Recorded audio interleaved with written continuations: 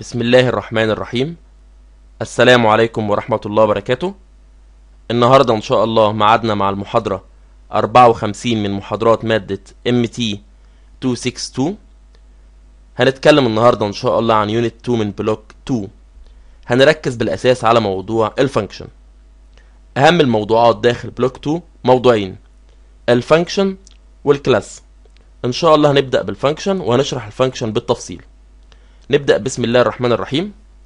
في البداية في مثال المثال ده لو إحنا فهمناه هنبدأ إن إحنا نشرح من خلاله ال function المسألة بكل بساطة هروح أعرف متغير.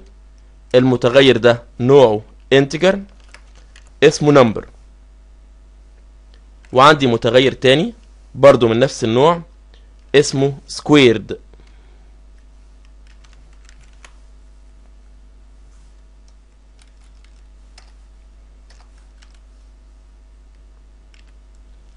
يبقى أنا لحد الآن عندي متغيرين.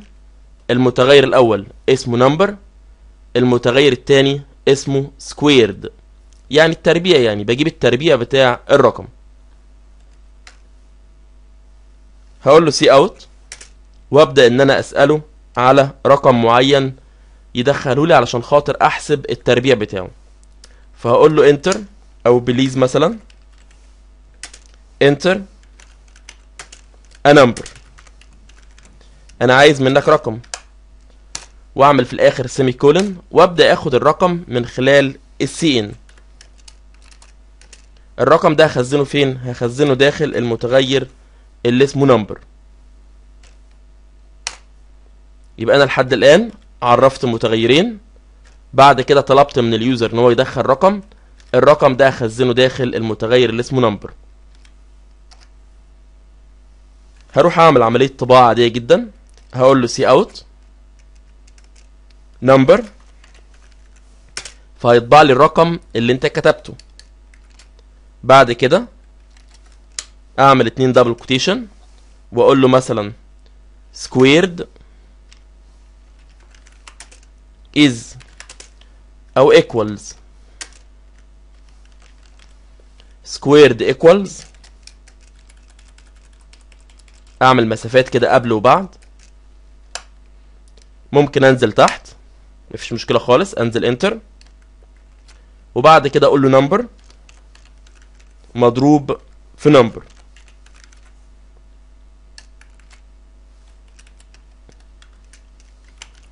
end l. إيه الكلام ده؟ المسألة بكل بساطة إن أنا رحت عرفت متغيرين. المتغير الأول اسمه number المتغير التاني اسمه squared والاتنين من نفس النوع. عرفت إزاي؟ علشان خاطر مكتوب كلمة int وما بين اسم المتغير الأول واسم المتغير التاني عندي comma. إذا عندي متغيرين من نفس النوع عرفتهم على سطر واحد. طب الكلام ده مفيهوش مشكلة. طلبت من ال user اللي هيستعمل البرنامج إن هو يكتب رقم. please enter a number عن طريق ال c out بال c in طبعا عشان خاطر أبدأ أتعامل مع المدخلات.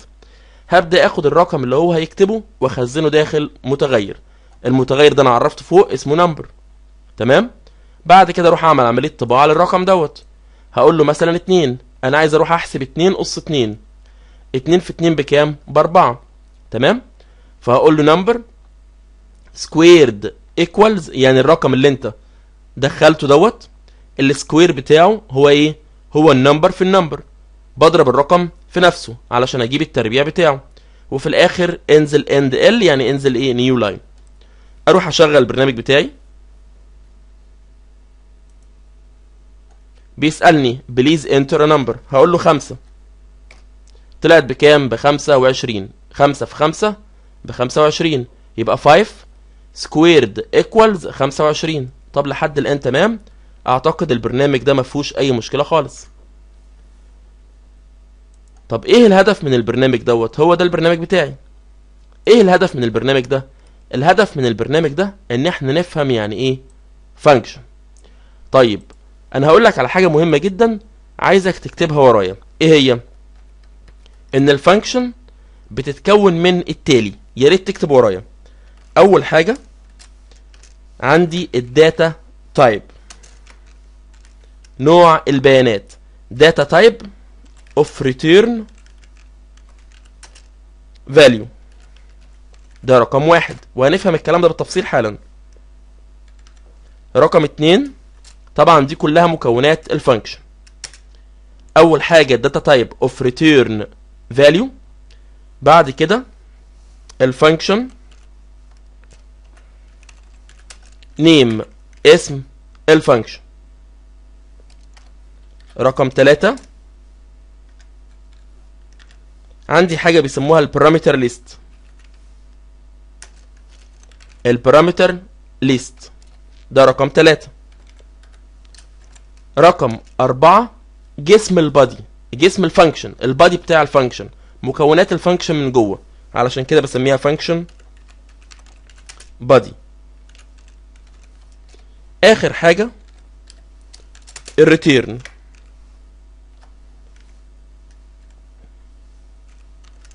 return statement يبقى عندي خمس مكونات هشتغل بيهم وأنا بشتغل داخل ال function أنا عايزك تحفظهم مؤقتا بعد كده مش هتحفظهم خالص. هتبدأ تشتغل بيهم وأنت فاهمهم. أول مكون هو ال data type of return value ده رقم واحد. رقم اتنين اسم ال function اللي هو ال function name رقم تلاتة ال parameter list رقم أربعة ال body بتاع ال function function body آخر حاجة خالص ال return statement جملة الايه ال return طيب يعني إيه الكلام ده؟ في البداية أنا عايز أروح أعمل عملية تعريف لل function function definition علشان أعرف لك ال function definition هقول لك الأول يعني إيه؟ تروح تعمل create لل function how to create a function. إزاي إنك أنت تعمل create لل function طيب هفكرك بحاجة أنت درستها معايا قبل كده. فاكر ال main مش أنا كنت بقول لك int مسافة main بعد كده بفتح الأقواس ديت وبعمل two curly braces بالمنظر ده. مش هي دي ال function اللي إحنا اشتغلنا عليها؟ يعني طول شغلنا في block 1 كنت بقول لك int مسافة main وبعد كده أفتح أقواس تمام؟ وفي الآخر خالص بروح أعمل curly braces open و curly braces close وكنت بقول لك طالما استعملت ال int يبقى لازم تروح تعمل إيه؟ تعمل return return لمين؟ ل zero. هو إيه الكلام ده؟ أنا كتبت الكلام ده أكتر من مرة لكن معلش ما كنتش فاهمه قوي. أعتقد هو ده الوقت المناسب إنك أنت تفهم يعني إيه انت مين وريتيرن زيرو. المين هي المين فانكشن المين هي المين فانكشن أو المين ميثود السي بلس بلس أشبه بالجافا. يعني إيه؟ أول ما البرنامج بيشتغل أول ما البرنامج بيعمل start up بيعمل start up منين؟ من ال function اللي اسمها main؟ يعني أول ما البرنامج بيشتغل بيبدأ ينفذ الأكواد اللي داخل main؟ يبقى أنا هنا عندي إيه؟ عندي block block of codes عندي مجموعة من الأكواد. ال block of codes دي أنا سميتها ال function body ده عبارة عن ال body جسم إيه؟ جسم ال function محتوياته ال contents المكونات بتاعة ال function يبقى أنا هنا بالنسبة لي عندي ال body أو ال block of codes وعندي function نوعها int لا غلط. ده مش نوع ال function أمال ده إيه؟ ده نوع ال return يبقى ال return zero نوعه إيه؟ نوعه هنا integer يبقى أنت بتعمل return لقيمة integer بتعمل return لقيمة integer علشان كده أول حاجة قلت لك data type of return value هي ديت. نوع البيانات بتاعة ال return value وانت عامل return لإيه؟ لقيمة integer اللي هي ال zero بعد كده ال function name اسمها إيه؟ اسمها main؟ ده اسم ال function ينفع أسميها اسم تاني؟ يعني ينفع مثلا آجي كده أقول له شريف للأسف ما ينفعش. ليه؟ لأن زي ما اتفقنا البرنامج عارف إن أنا علشان خاطر أشغل الأكواد بتاعتي وتظهر عندي على الشاشة وأبدأ أتعامل مع البرنامج لازم وأنت مجبر إنك أنت تستعمل ال keyword أو ال reserved word الكلمة المحجوزة اللي اسمها main؟ ولازم تتكتب كده تتكتب small m a i n يبقى أنا عندي ال data type of return value عبارة عن integer وبعد كده عندي اسم ال function اسمها main؟ وبفتح الايه ال brackets ديت. خلي بالك في الجزء ده ممكن إنك أنت تشتغل بحاجة بيسموها parameter list وممكن ما تحتاجهاش. ولكن في المثال بتاعنا النهارده هنحتاجها. لكن بعد كده ممكن ما نحتاجش ال parameter list يبقى هنا بيكون عندي parameter list تمام؟ طبعا زي ما اتفقنا الجزء ده optional يعني ممكن أحتاجه في function وممكن ما أحتاجوش. إحنا طول عمرنا شغالين بال main method أو ال main function من غير parameter list وشغالة معانا بدون مشاكل. مفيش مشكلة. يبقى أنا كده خلصت ال data type of return value وخلصت ال function name وخلصت ال parameter list عبارة عن parameters هنا. طيب تمام. وفين ال function body هو ده ال function body اللي هو ال codes ديت مجموعة الاكواد اللي أنا عايز أنفذها. وفين فين ال return statement أهي؟ ال return statement في الحالة بتاعتي هنا بالنسبة لل main function أو ال main method بيروح يعمل return ل zero لأنه بيكلم ال operating system فبيقول له أنا خلاص خلصت البرنامج بدون أي error without error. يعني end without error. هو ده معنى ال return zero كلنا عارفين معلومة قبل كده إن أنا ممكن ما اشتغلش بال return يبقى هتيجي هنا وبلاش بقى موضوع ال data type وتكتب بدلها كلمة void. طيب الكلام ده إحنا عارفينه قبل كده. تشتغل بال void main مش هتشتغل بال return لكن تيجي تقول له كده int main يبقى لازم مجبر إنك أنت تروح تعمل إيه؟ تعمل return ل zero وعلى فكرة ما بين ال return و zero في مسافات. وزي ما أنتم شايفين واضح إن كلمة return كلمة محجوزة. عرفت منين؟ علشان خاطر لونها زي ما أنتم شايفين أسود غامق bold وكلمة int برضو كلمة محجوزة. طب ده بالنسبة لل main function أو ال main method طبعا الكلام ده إحنا اشتغلنا عليه وفاهمينه. ممكن بقى إن أنا أشيل الجزء ده علشان خاطر نبدأ نكمل الشغل بتاعنا. آخر حاجة وقفنا عندها إن أنا جيت هنا في الشغل بتاعي ورحت عملت برنامج برنامج عادي جدا. عرفت متغيرين وبعد كده طبعت جملة معينة. لو سمحت أنا عايز ال number. دخل لي ال number. بعد كده قال لي ال number اللي أنت كتبته وليكن مثلا خمسة. ال squared بتاعه خمسة وعشرين. مش هو ده آخر جزء إحنا شرحناه؟ واخر جزء نفذناه تعال ننفذه تاني. هيطلب منك رقم هقول له مثلا آه عشرة. انزل enter هيقول لي أكيد مية. ال square بتاع عشرة مية اللي هو عشرة في عشرة. طيب لحد الآن تمام. ما تيجي بقى نجرب الجزء اللي إحنا شرحناه من شوية للجزء بتاع ال function والشرح بتاع ال function على مثال عملي. ممكن اطلب منك طلب لحد هذه اللحظة؟ لما تيجي ت create function اطلع فوق ال main. يعني تعالى كده خلي ال main تنزل سطر واكتب هنا في الجزء ده الشغل بتاعك. في الجزء ده هتبدأ تكتب الشغل بتاعك. هتبدأ ت create ال function المنطقة دي على فكرة بيسموها منطقة ال global declaration بيسموها منطقة ال global declaration تمام؟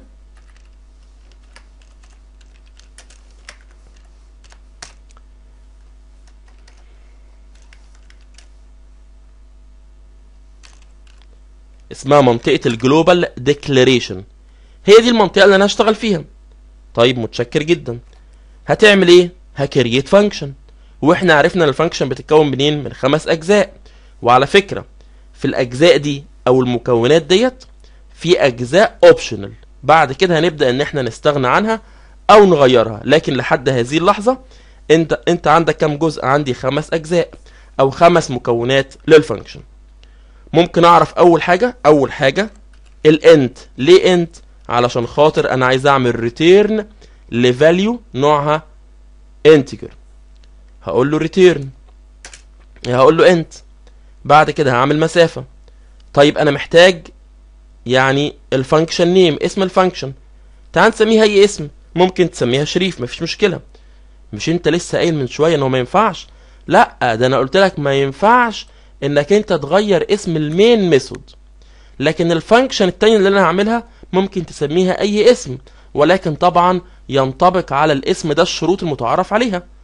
يعني ما تعمليش spaces ما تكتبش حروف عربية ما تكتبش رموز غريبة special characters ما تعملش علامات غريبة ما تبدأش برقم. كل ده شبه الايه الاسم بتاع ال variable ال identifier يعني.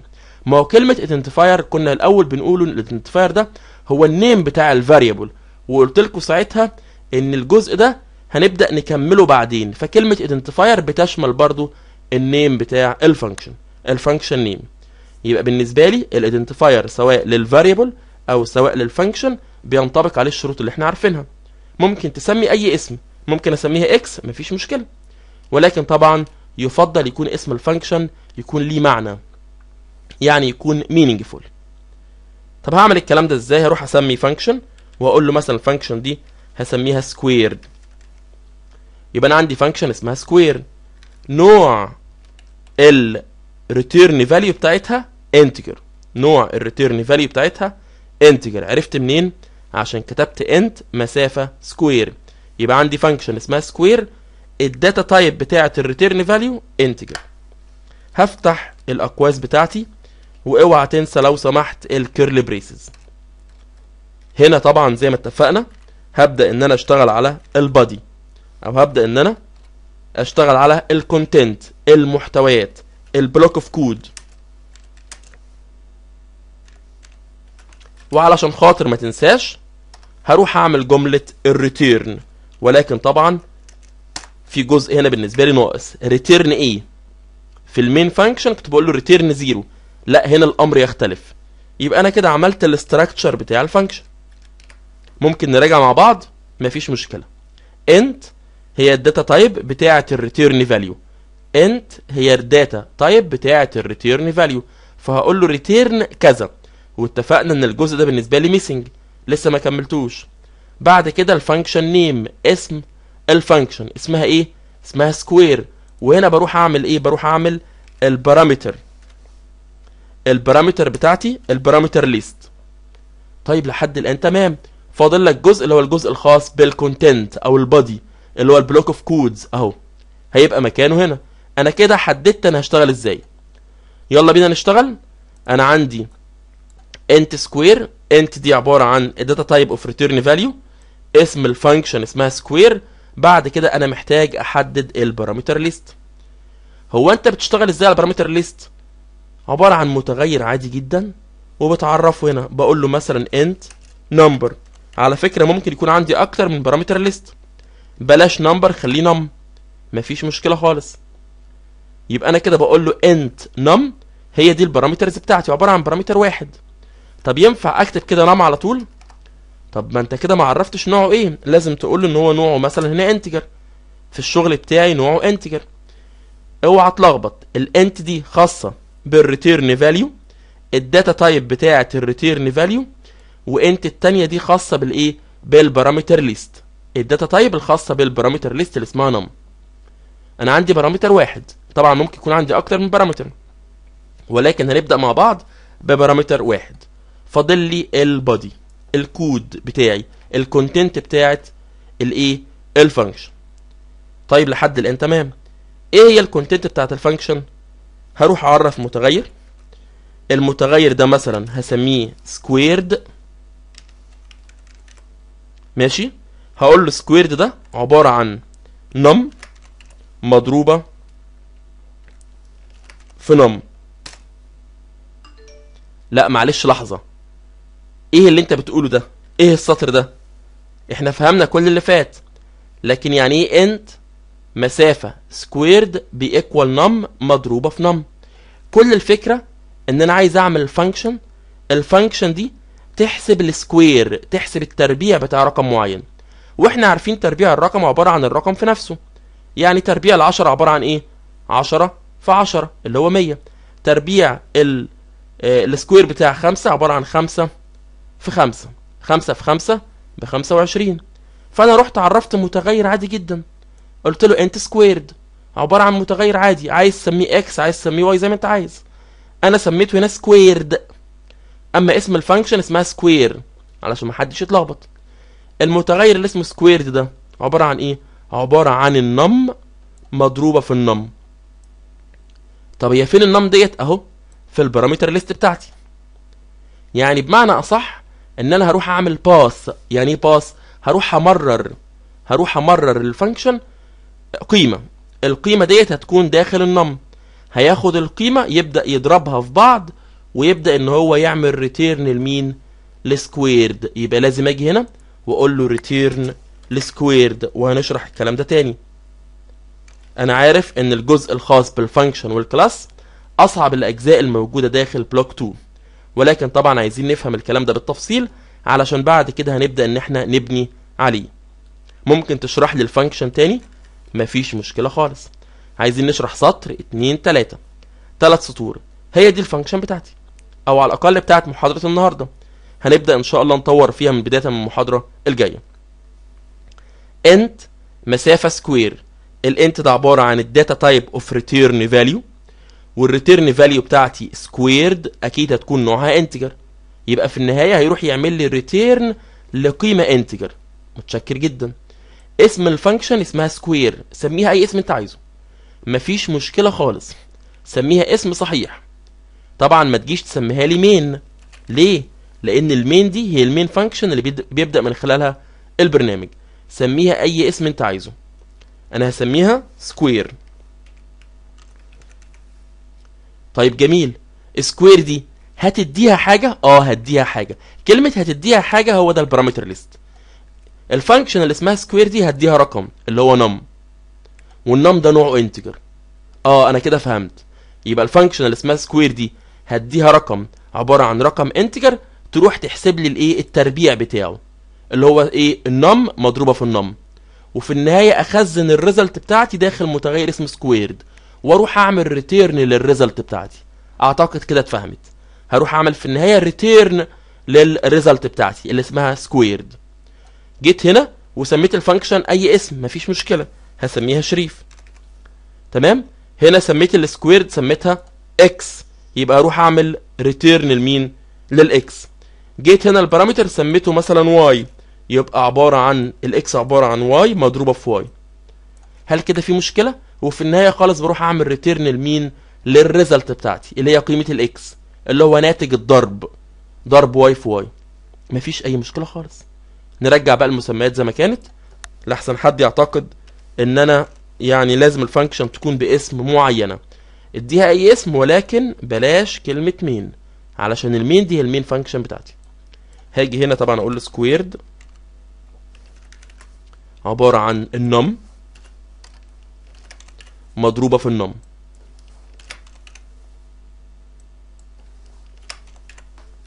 طبعا اسم المتغير اللي أنت هتستخدمه هنا هو هو ده. تمام؟ num مضروبة في num. ما تجيش هنا وتكتب لي num عبارة عن حرف سمول غلط. تمام؟ لازم تكتب اسم المتغير زي ما هو. طبعا إحنا عارفين الكلام ده من زمان. ممكن أسألك سؤال؟ طبعا هنا أقول له return squared هنا square بس.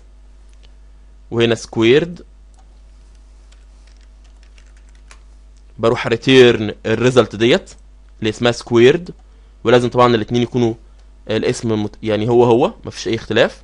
ما تجيش هنا تخلي مثلا حرف ال s capital وهنا تخليه سمول لا تخليه زي ما هو هنا capital أو سمول زي ما هو.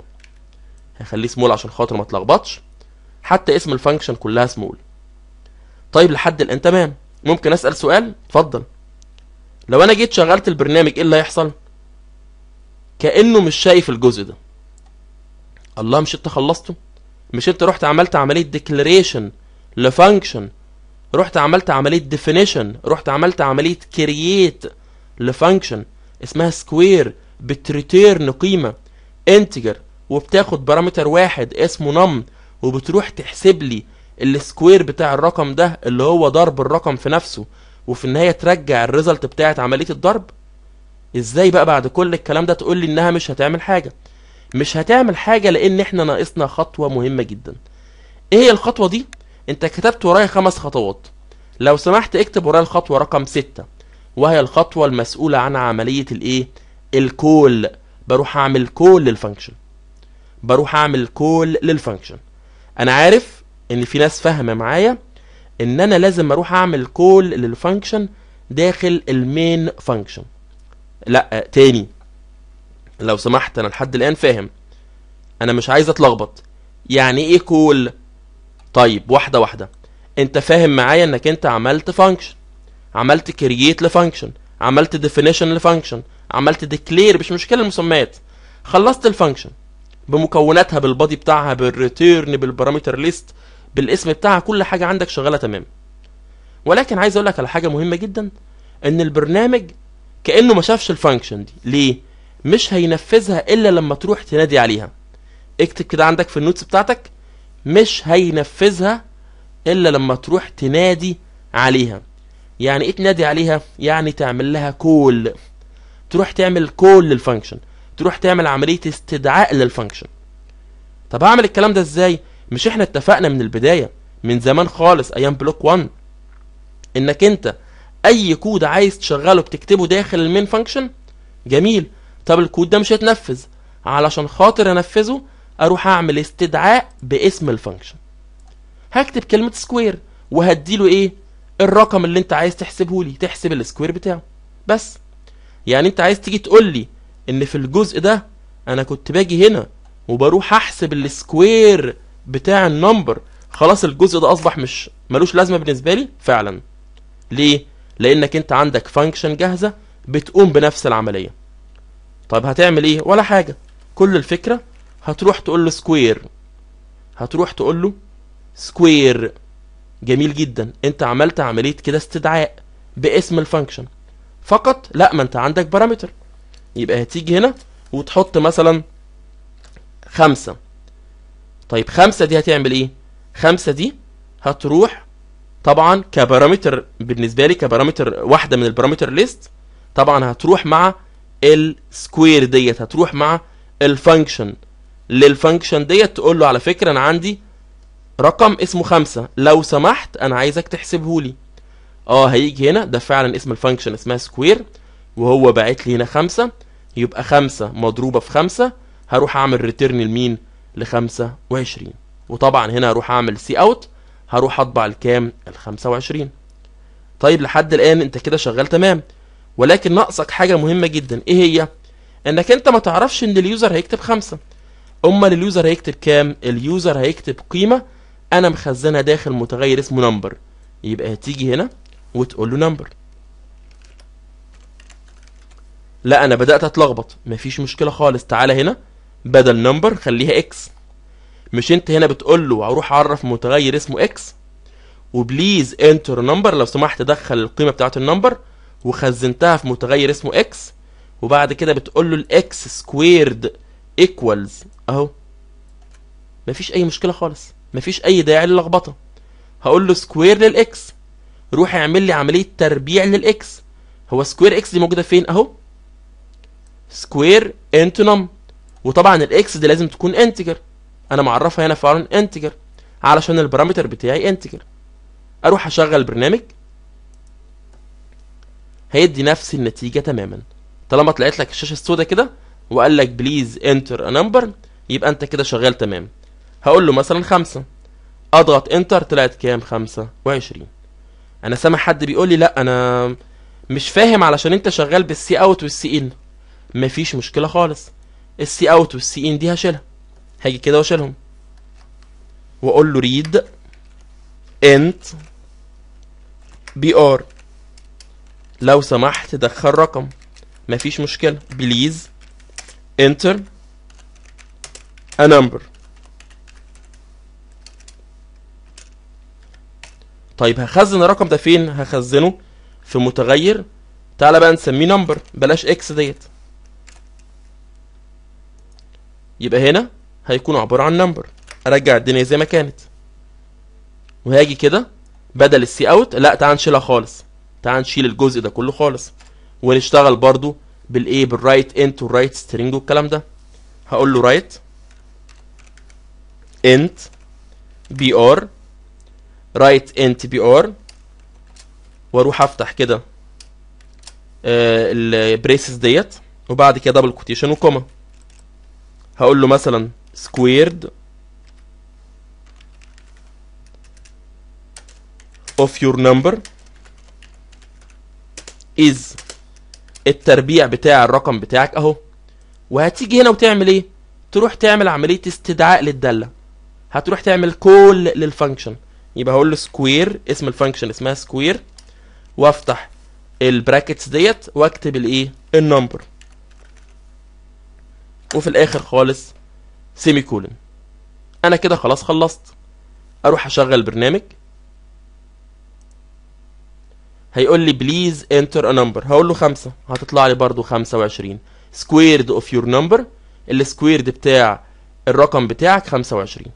يبقى كل الفكرة لو انت حبيت تشتغل بال cin أو ال cout مفيش مشكلة خالص.